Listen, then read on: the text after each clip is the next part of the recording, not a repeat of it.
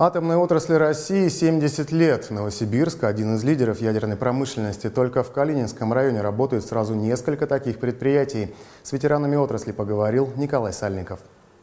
Август 45-го. После американской бомбардировки Хиросимы и Нагасаки по особому распоряжению Сталина в Москве, Свердловске и Харькове создают специальные физико-технические институты. Вячеслав Овсянник – выпускник самой первой группы Уральского физтеха.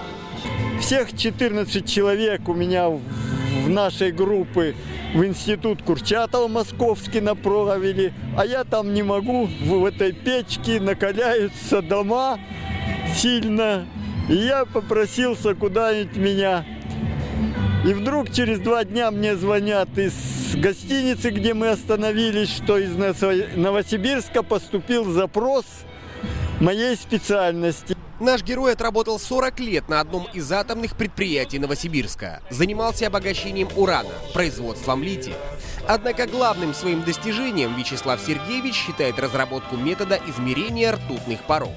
Помимо науки и производства, новосибирцы внесли огромный вклад и в ликвидацию последствий аварии на Чернобыльской АЭС.